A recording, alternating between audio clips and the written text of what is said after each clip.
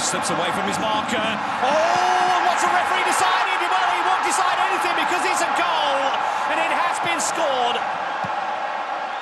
by Nicolai Müller for Hamburg and for Markus Gisdol.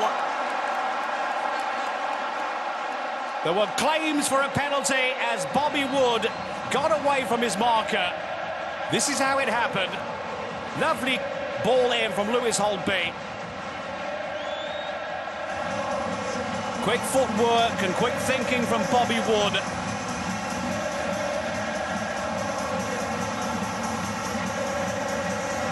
That is an excellent move by Hamburg, who get the opener after, what, 12 and a half, 13 minutes into the game. Nicolai Müller scores goal number five. Two defenders who stay where they are for most part of this game here up to now. Chance here for Köln. Clemens. Good ball in, great header, great goal! And the equaliser. Milos Jojic found himself some room and he took it beautifully.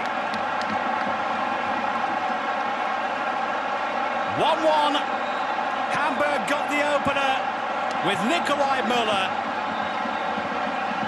After the pass from Simon Zoller, that was a lovely ball in from Christian Clemens, who saw that man Milos Jojic in room. Too much room, really, that Hamburg gave him there. But make no mistakes here, that's a great header from Jojic. Does very well. Adler rooted to the spot. And Jojic collects his second goal of the campaign. Sakai. Dennis Diekmeier in room, but that was telegraphed the pass, but Rausch couldn't get there. Lovely move here by Diekmeier, slips past his opponent, and that was a good ball in. Oh my goodness, the chance was there for the second time, and somehow Timo Horn skates it away, but not this time, and it goes in.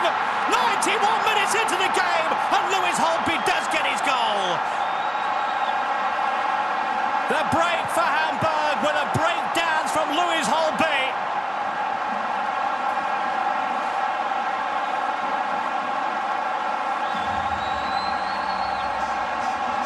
Peter Stöger uh, can't believe it, but into stoppage time here. Köln's defence were beaten. It was a lovely save here from Timo Horn. The ball came back again to Wood. In the centre, he was waiting for the ball, but it was Lewis Holtby who found himself in the right place here.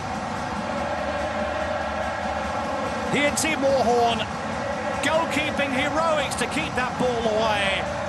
This time, with a bit of luck involved, Lewis Holtby was there to pounce. His last goal was a year ago against Darmstadt, then in a 2-1 defeat. Is he the man who makes it 2-1 and all three points for Hamburg? But doesn't need to. He blows the final whistle and Hamburg have done it at the death against Köln. Once again, another victory for Gisdol and for Hamburg.